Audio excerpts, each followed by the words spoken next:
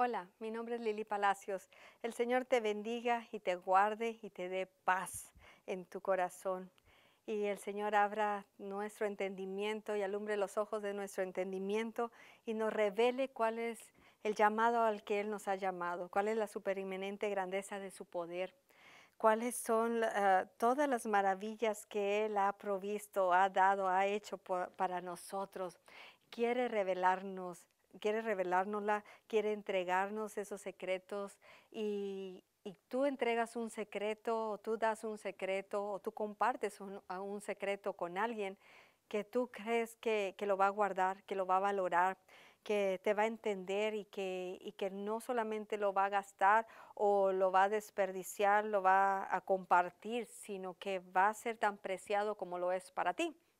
Entonces, pues que Dios en su infinita misericordia, ¿verdad?, pueda encontrar en ti esa persona a la que pueda depositar sus secretos. Los secretos no son para todos. Los secretos que Dios tiene son para aquellos que le buscan de veras, para aquellos que, que desean conocerle a Él. Dios no va a echar las perlas nada más ahí se va, ¿verdad? No nos va a entregar el, maná del cielo, no nos va a dar lo más preciado que Él tiene. A, los que no lo valoremos, a los que no mm, ni siquiera nos interese, a los que no tengamos hambre, los que no tengamos sed de Él, los que no estemos buscando su reino. lo que Él tiene preparado para cada uno de nosotros, Él nos lo quiere dar, pero ¿estarás listo para recibirlo? ¿Estarás preparado para administrarlo? Porque a veces recibimos cosas que Dios nos da, nos da revelación, nos da entendimiento, nos da una palabra, pero nosotros no sabemos contenerla, no sabemos administrarla, no sabemos ser buenos mayordomos de esas revelaciones o de esa palabra, de, de eso que nos está dando la tiramos, la desperdiciamos o la guardamos en el cajón, la guardamos ahí, ahí la dejamos y no la volvemos a tomar, no la volvemos a agarrar, no la volvemos a compartir ni a meditar en ella. ¿Tú crees que Dios te va a querer dar más revelación? ¿Tú crees que Dios va a querer mostrarte más aunque le estés pide y pide? Te va a decir, ¿qué es lo que hiciste con esto? ¿Sí? Eh, hay personas que, que están pidiendo, ay Señor, quiero esto, quiero alcanzar, quiero hacer, quiero... Y, te dijo hace seis meses, limpia tu closet, arregla tu cuarto, limpia los cajones, recoge la ropa, lava la ropa, ayúdale a tu mamá, ayúdale a tu papá, eh, haz esto, haz aquello. Y tú dices, no, porque yo no, yo esto, yo... Y queremos alcanzar el mundo para Cristo, queremos alcanzar las naciones, la juventud, los matrimonios, esto y mil cosas. Eh, y no podemos obedecer, ¿cómo quieres que Dios te va a dar todos estos secretos, todas estas revelaciones, todos estos planes, todos estos sueños? Si el primer sueño que tienes es de que tú le obedezcas, ¿verdad? Y que, y que pongas orden en tu vida. Tú pones orden en tu vida, obedeces a la voz de Dios. Entonces, cuando Él te diga, ve, haz, eh, eh, métete, haz esto, haz aquello, entonces Él te va a respaldar porque ya obedeciste la primera instrucción. Si quieres saber por qué Dios no te sigue revelando, mostrando, enseñando cosas, examínate porque a lo mejor hay una instrucción que te dio y no la has hecho. No has cumplido, no la has hecho como Él te dijo. A lo mejor tú la quisiste hacer como tú quisiste o en la forma o como tú entendiste, pero Él te dijo, ve y da, ve y perdona, ve y suelta, ve y busca y arregla ya las paces. Y tú dices, no, que vengan, no, que me busquen, no, pues, mm, pues así la dejamos y, y no pasa nada. No haz lo que Dios te dijo y entonces eh, eh, Dios te va a seguir dando, te va a continuar dando. No haces, ahí te vas a quedar, ¿verdad? Ahí te vas a quedar ahí en el desierto por 40 años, por 30 años, por 50 años, por 100 años, va a depender de ti. Tú obedeces la voz, no murmuras, no te quejas, eh, eres agradecido con Dios, entonces te va a llevar a la tierra prometida, ¿sí? Y ahí en la tierra prometida ahí no vas a llegar, no vas a llegar a una tierra prometida donde todo va a ser color de rosa, donde todo va a ser felicidad, donde todo va a ser alegría y todo va a estar fácil porque ya llegaste a la tierra prometida. No, Dios te sacó de la esclavitud, te sacó de la opresión, te sacó de, de, la escasez, te sacó de la ruina, te sacó de la brujería, de la hechicería, te sacó de los vicios, te sacó del trauma, te sacó del abuso. De todo esto nos sacó Dios. Ahí vimos lo malo, ahí hicimos lo malo.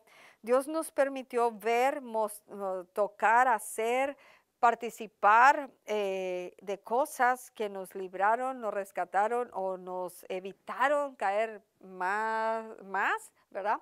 Eh, ahí en Egipto, pero Dios nos sacó, con su infinita misericordia, nos sacó de Egipto y nos trasladó por un desierto a Egipto ya lo dejamos atrás, ya no sigas cargando Egipto, ya no sigas trayendo tu pasado, ya no sigas trayendo los ídolos de tu juventud, ya no sigas arrastrando los abusos, los traumas, los dolores de tu pasado, de tu juventud, déjalos ahí en Egipto o entiérralos en el desierto. Pero si tú sigues cargando con eso, ¿cómo vas a llegar a la tierra prometida?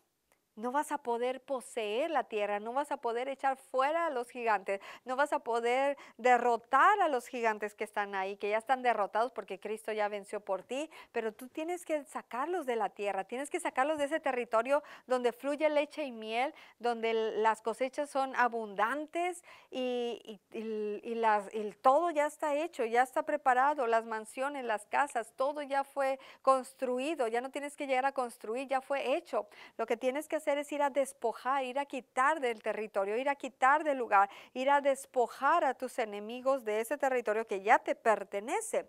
Pero durante, durante la etapa en el desierto, nuestro carácter está siendo formado, está siendo forjado.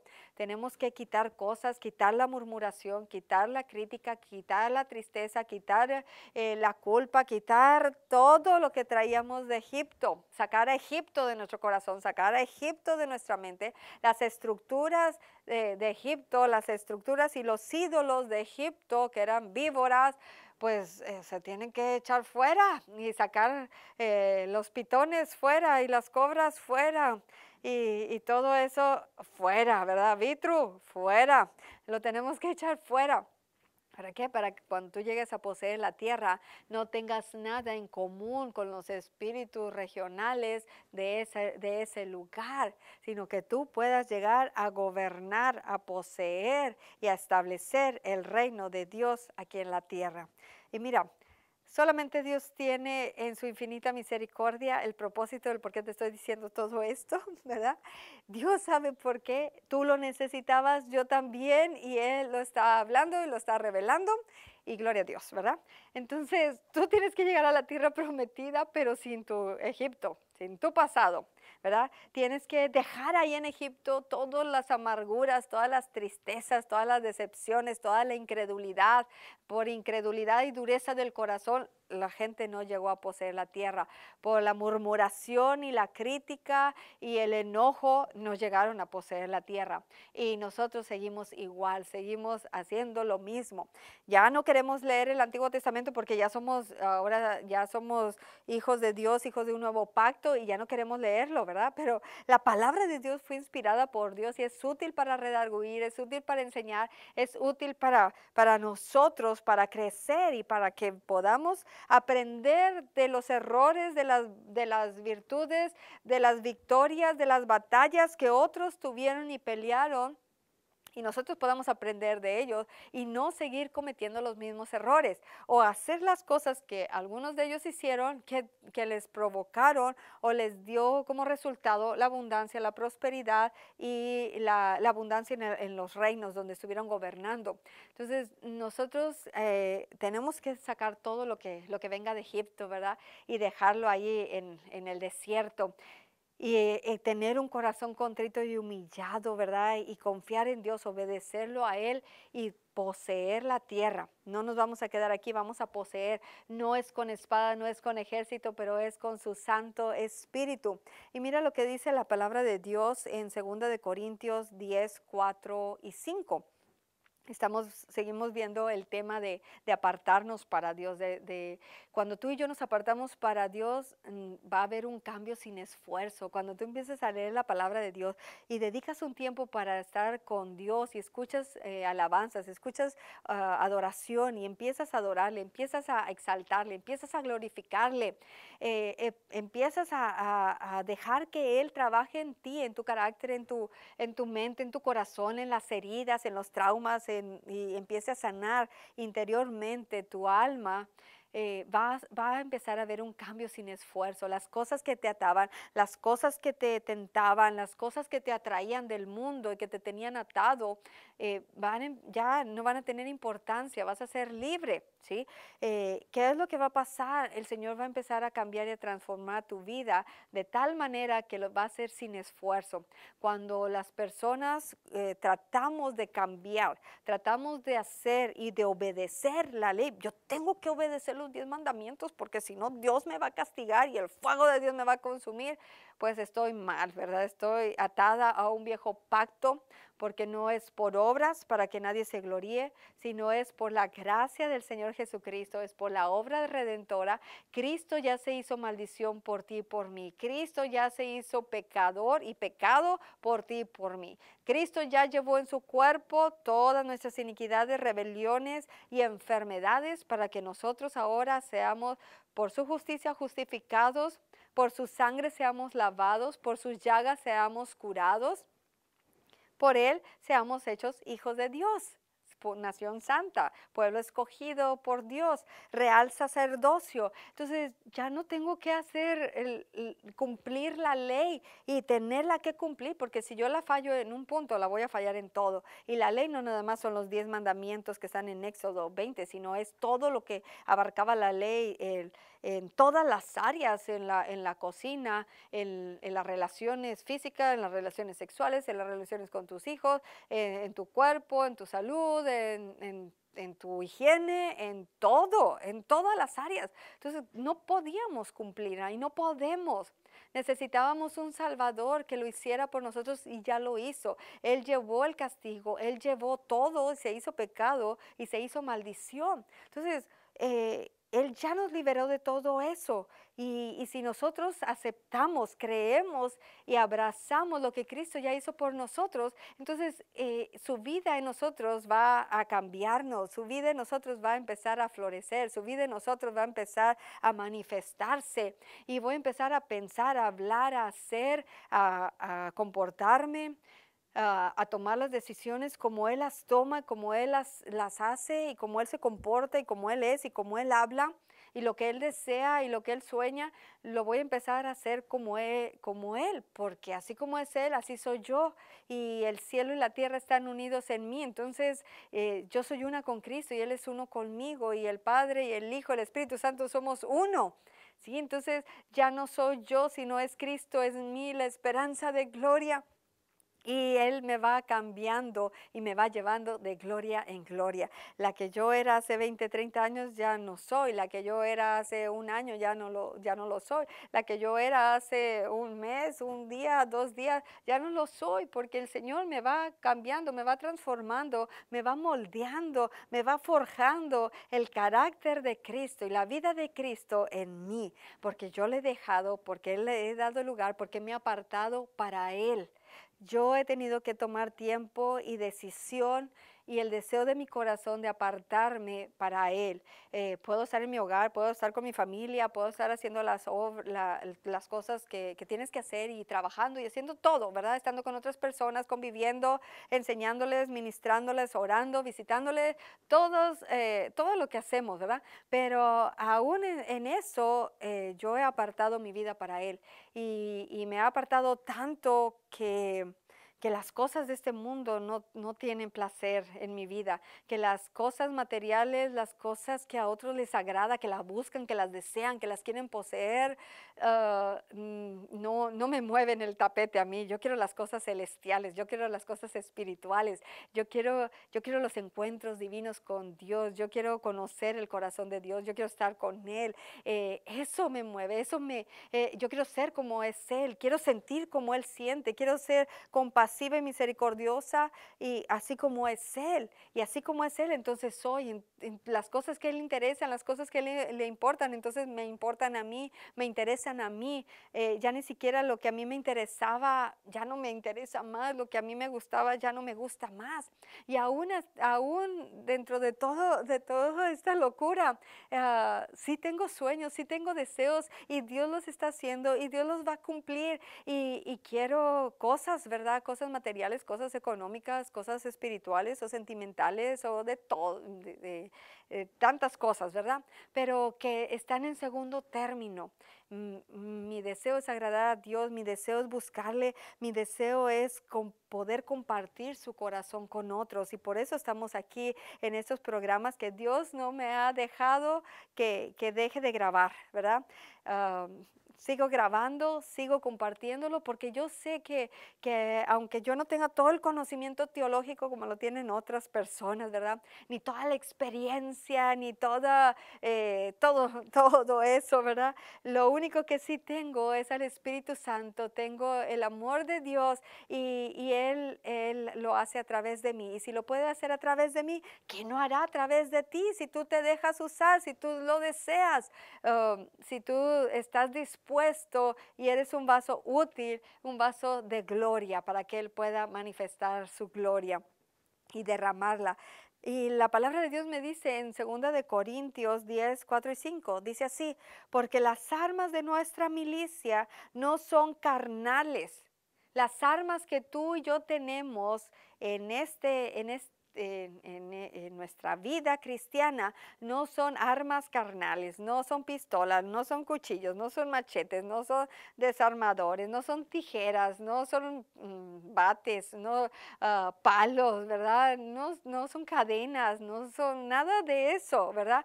Nuestras armas son poderosas, porque no son carnales, sino poderosas en Dios para la destrucción de fortalezas, para derribar argumentos y para derribar toda altivez que se levanta en contra del conocimiento de Dios y llevando todo cautivo a obediencia a Cristo.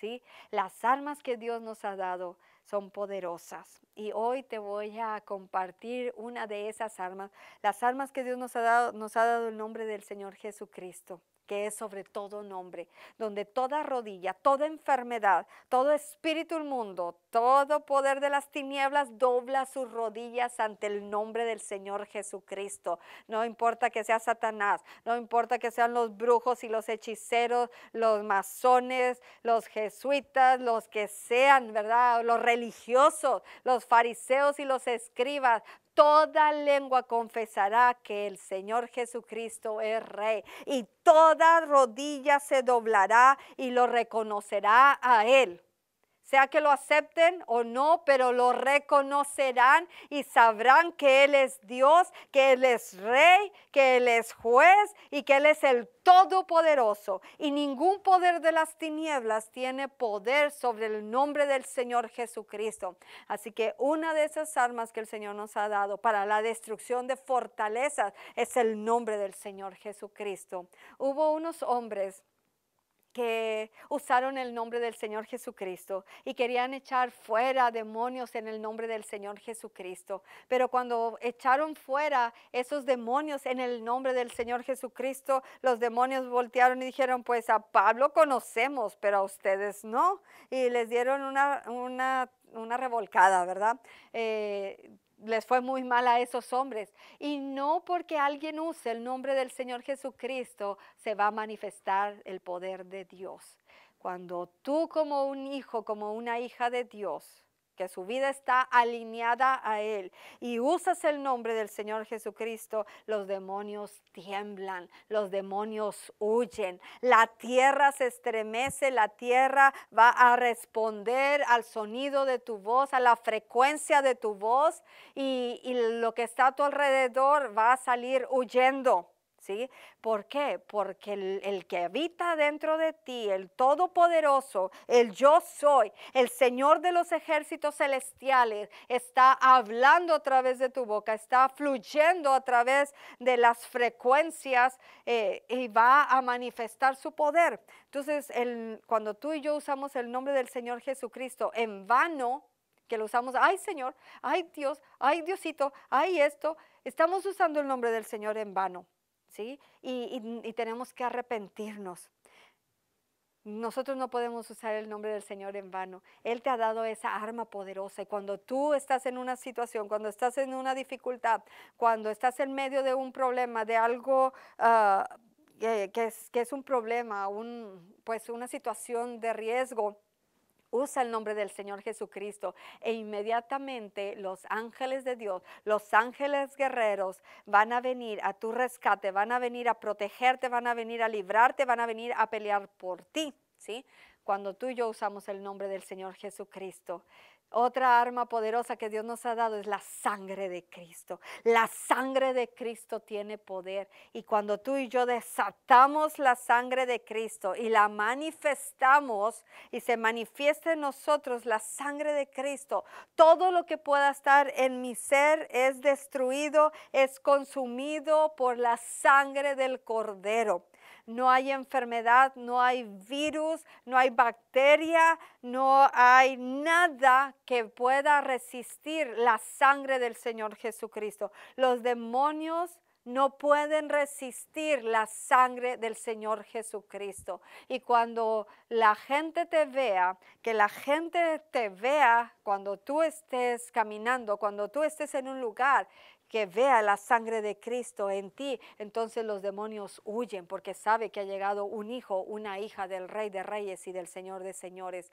Pero nuestras vidas tienen que ser unas vidas apartadas para Dios. Nuestras vidas tienen que reflejar la santidad de Dios, porque sin santidad nadie verá al Señor si nuestras vidas están con un pie en el mundo y un pie en la iglesia, un pie en las cosas del, enemigo, en las cosas mundanas, ¿verdad? Y otro pie eh, en la iglesia y, levantamos nuestras manos en la iglesia y hacemos todos los ritos y todas las costumbres y todo lo que se hace ahí, porque todo el mundo lo hace, y danzo y corro y salto y bailo y, ya salgo de ahí y, me voy a otros lugares, tomo, fumo, veo, hago, toco, robo, mm, infinidad de cosas, ¿verdad?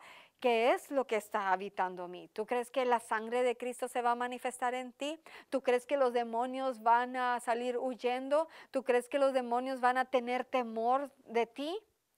Cuando, cuando un verdadero hijo de Dios llega a un lugar, los demonios van a reconocer van a reconocer quién está en ti. Yo no sé si te acuerdas en la palabra de Dios cuando, cuando Jesucristo llegaba al, cuando llegó a, la región de, pues donde estaba el endemoniado Gadareno, llegó a esa, a esa región y el, el endemoniado salió de las tumbas, salió al encuentro de Jesucristo. Fíjate, Jesucristo no fue a buscarlo, Él se manifestó, Él llegó y se mostró, nada más llegó y porque Él llegó se manifestó, ¿verdad? Lo que Él era y lo que Él es se manifestó en ese lugar. Y el demonio regional ah, de ese lugar se respondió a la manifestación del Hijo de Dios, respondió a la luz que Él emanaba y al poder que Él emitía. Entonces se vino este demonio, se puso a los pies y le dijo, ¿qué estás haciendo aquí? ¿Por qué vienes a atormentarme antes de tiempo? ¿Verdad? No quería que fuera atormentado, hijo de Dios. Él sabía, el demonio sabía quién era el que estaba dentro de él, quién era él, ¿verdad? Los, y él decía, cállense, no digan, cállense, ¿verdad? Los callaba porque ellos reconocían quién era él. Y, cuando, cuando él tiene esos encuentros, eh, esos demonios le dicen, ¿por qué vienes a atormentarme si no tenemos nada en común? ¿Sí?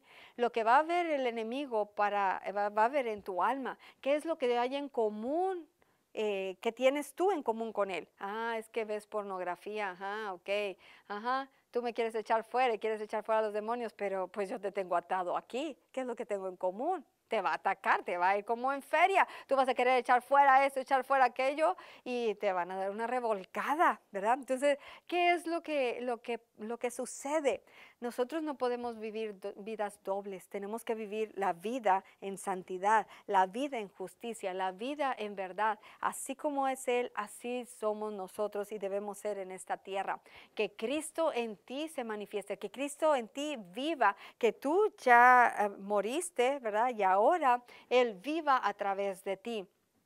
Y esta arma poderosa es la sangre de Cristo. La sangre de Cristo tiene poder y los demonios no la resisten, no la soportan. Otra arma poderosa es el, fuego de Dios. ¿Sí? El amor de Dios, el amor de Dios es lo que vence. Eh, puedes tener ah, fe, puedes tener ciencia, ah, filosofías, puedes tener todo, pero si no tienes amor, entonces no tienes nada. Y, todo, y de todo lo único que va a durar va a ser el amor.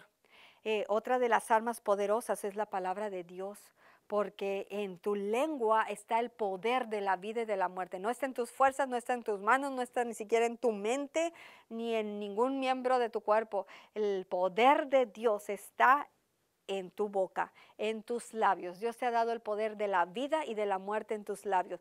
Y tú vas a comer del fruto de ellos, de lo que ha salido de tu boca, no de la boca de los demás, no de los hechos y actitudes y circunstancias que, que están a tu alrededor, sino de lo que tú has hablado, decretado y expresado. Tus palabras tienen poder. Así que empieza a meditar en estas armas que Dios nos ha dado y vamos a continuar hablando de ellas y las vamos a poner en práctica y las vamos a usar para que el nombre del Señor Jesucristo sea glorificado y todo demonio sea puesto debajo de sus pies. Ya te dio la victoria, ya te dio la autoridad para hollar serpientes y escorpiones. ¿Qué esperas?